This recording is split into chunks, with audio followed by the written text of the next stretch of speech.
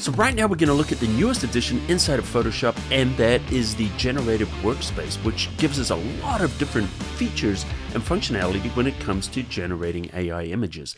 At the time of this recording, this is only available inside the Photoshop beta. To grab that beta, go to your Creative Cloud app at the top on Mac and would be at the bottom on Windows. Choose Apps. You'll see where it says Beta and then you see the Photoshop beta. And if you're in some other countries, you might say beta, but that sounds strange to me. And now you're going to find it under the edit menu. We're going to see generative workspace. And this is going to pop open. Now, this expands on generate image. And there's a lot of functionality in here, um, including the ability to batch process and also use variables and different types of references to generate these images. And these images are going to be generated at 2048 pixels by 2048, which is larger than what you're going to get right now inside of Generative Fill. Now, I've heard some people say this is just a cash grab from Adobe because they're trying to get you to spend all your generative credits. Okay, a couple of things on there. Number one, when we're using this on the beta right now, it does not count towards your generative credits. So you can use it as much as you want. It's not going to affect you. And the second thing uh, for any paid Creative Cloud member, Adobe is not enforcing those generative credits yet. So those are not even in effect at the moment. So don't worry about your credits, just jump in, play around with this tool, and have fun. And the first thing you'll notice is that any of the images that I've generated in the past are all here. So it's really useful. It gives you a library of everything you've generated along with a history. Now we can go to the detail view where it's going to look at one image at a time or we can go into the timeline view, which is what we're seeing here. Another thing you'll notice is each time it generates, it generates four variations rather than just the three. The other thing we can do is we can work in fast mode. Fast mode is going to enable it to generate quicker, but that's mainly going to work well on things with simple backgrounds and simple images. When we go to generate more complex images, you're going to want to turn the fast mode off in order to get a higher quality. And if you look at the top here, we can see we're on all images, which means that we're looking at our images. We also have the option to choose inspiration. Now under inspiration, we can scroll through and see some of the ones that Adobe has applied. And we could do things like maybe grab this Shiba Inu and we just choose use settings. What it will do is it will grab that prompt and it will put it into our taskbar here. So as you can see here, it's using some effects. If you wanted to clear those effects, you could just choose clear all but we could go through here and we can see it's using Baroque. So this is a great way to learn and kind of practice off the images that are in there. And then when you want to use your own images and just generate from scratch, we can go here, type in our own prompts. All right, and we can also go through our history and we can re reuse images that we've used. Maybe we like this kind of effect. How do we get this cool effect in the hair and everything like that? Well, let's have a look we can just go to that particular one. I see on November the 5th I ran this, and it was actually in a previous tutorial I did if you want to see it. But we can choose Use Settings. And the Use Settings are going to reuse the settings. It's going to use the particular prompt that I created, a woman wearing a red t-shirt at the mall. So we can see here we've got a couple of reference images, which we're going to look at in a second. But at any time in the future, we can choose Generate, and now we can generate new images based on the same prompts and the same settings that we've used in the past. So this could be a great springboard for trying out new things or uh, refining prompts that you've been working on. So the first thing we're going to do is we're going to choose our aspect ratio. Do we want this wide? Do we want it tall? Do we want it square? Let's do a widescreen. Let's go for something cinematic. Okay, so here we're going to do a large ship sailing through waters in Antarctica near an iceberg, evening and reflective with aurora in sky. I don't know if this is going to look any good or not. We'll find out. And now, do we want to use a reference? We'll come back to this. I really want to focus on the reference separately because it's a very powerful tool. And what types of effects do we want? In this case, we can say, hey, do we want art or do we want photo? Let's go photo. And let's just go into the popular ones. Let's go for hyper realistic. That'd be nice and we'll look at variables separately in a moment. So what we're going to do is we're just going to choose generate, and now based on this, it's going to generate four particular images. And here we go. Let's have a look at these. We can click on the first one. So once we click on it, it goes into detail view. We can see there's a prompt. There's all the information here, and there's the size. As we're going through here, these ships are not fantastic, but we're also in fast mode. We don't have to wait for it to generate before putting another prompt in, so we can batch process multiple prompts if we want. Now, if we're looking at these and we don't like that view much, maybe we're going to change this. Let's do an aerial view. Because I'd rather look at this from a little bit higher up, and now we're going to choose generate again. Now, if I wanted to generate more, I could just once again hit generate, and now we've got two instances of it going. I could change things in the prompt here. I could drop the uh, beautiful part and the hyper realistic part if we want, and generate again. So notice now we've got three of them going. And let's have a look at this particular angle. All right. The ship is still not amazingly realistic in my my viewpoint, but we've got our aurora going, we've got our icebergs, we've got everything that we asked for. Notice the fast mode is off. And I don't know that this is really giving us a huge improvement at this particular time. Remember, this is still in beta. Okay, so let's have a look at references. So we've got a prompt here, woman eating sandwich outside a cafe. Let's set an aspect ratio to just a regular landscape. And let's generate it and see what we get. And here we have some women eating sandwiches. Oh, let's have a look at them. So we have people eating a sandwich, but now we can use these references to get it closer to what we want. So if we choose reference, you'll notice it's two types, composition and style. So the composition reference will look at things like the pose, um, where things are positioned within the frame, and you know the sizing, the angle, different things like that.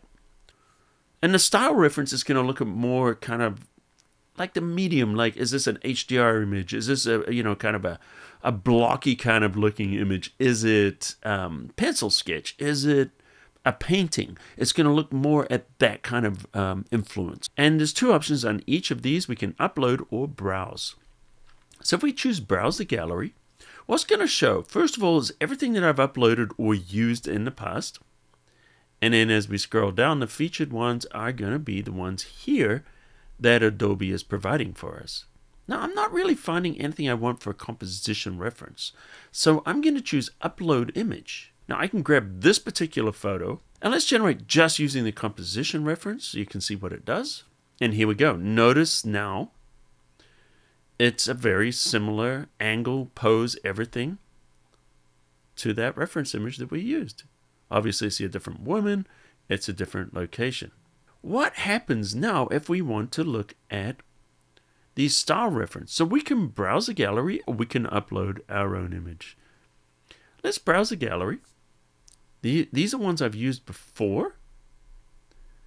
And these are different ones that are available. So if we want a different style, we want to do something like a watercolor or a pencil or something like that, we could do it. Why don't we do, just for fun, we'll do an architectural sketch first, which is just going to be something very different. Notice that you upload it.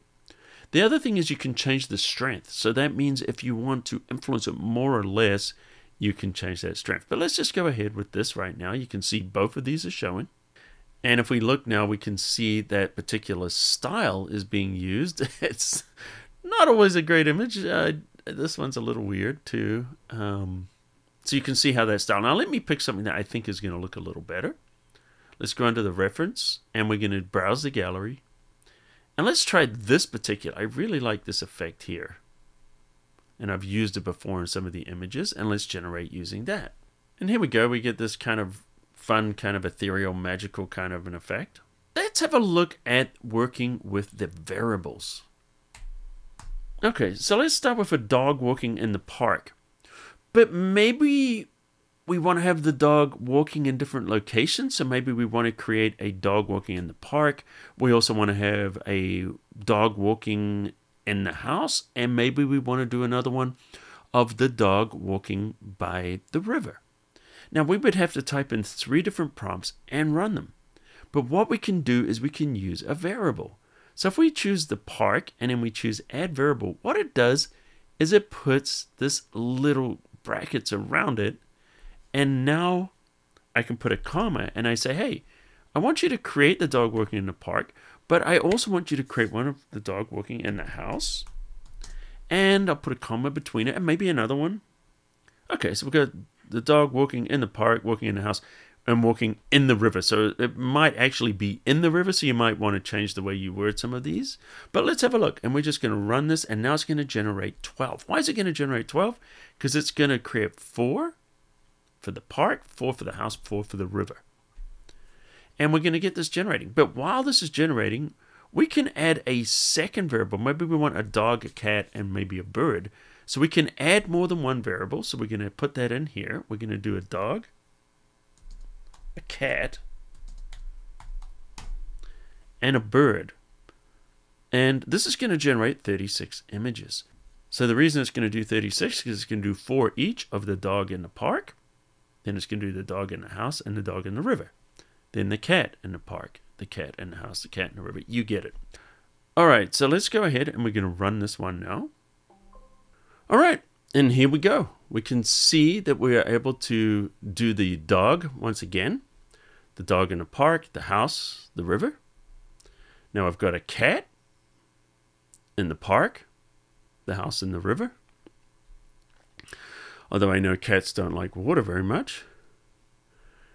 And then we've got the birds. Park, in the house, and in the river.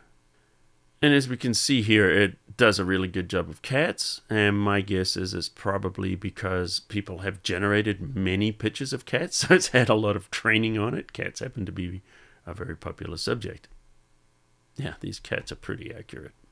Now, if you wanted to do these um, manually, you don't have to choose the add variable because all it's doing is just literally just putting a bracket around it. So if I wanted to do something like my own, I could just type in those brackets manually and we could change it to running, flying. But we're not going to go ahead and generate 108 images. I just wanted to show you that we could do that. Okay, so once you've started generating all these different images, you might want to use them inside of Photoshop. So one of the ways you could do that is we could go in here and say, hey, I want to use this one. I want to use this one. And you can see we can start to select different images here. And you can see we've selected four of them. We could select many more if we wanted. But we can open these. If we choose open, it's just going to open them in Photoshop. We can favorite them, which means we can come back to them later. Just put a little star on them. Makes it easier for you to find them later. We could download these. And so if we do that, it will just download them as JPEG files. We can delete them if we want to cull some of these. And if we choose open, it's just going to open them directly into Photoshop. As separate documents, we can see here, there they are. All right, let's select a few here. We're just going to select one, two, let's grab three of them here and we have the ability here, we can add them to existing documents and we can create a brand new document and we can put all of these in separate layers or we can put them as variations in layers. But let's just go here and we're going to put this in separate layers and choose add. And as you can see here, as expected, here they are. Now if I go into the properties here, you'll see there's only one variation for each and we're going to do it into a new document, but this time we're going to choose variations in layer and then click add. And you'll notice this time it puts everything on one layer and all the images that we selected are now available as different variations. So this just reduces a lot of the clutter and makes them a lot easier to work with. So as you can see, the generative workspace adds a lot of functionality and makes it a lot easier and quicker for you to work generating those particular images. So let me know your thoughts in the comments underneath. Do you find this useful? Did you learn anything in this video? And by the way, if you're new, welcome to the cafe. Hit the subscribe button, turn on notifications. You won't miss any of my tutorials. And until next time, I'll see you at the cafe.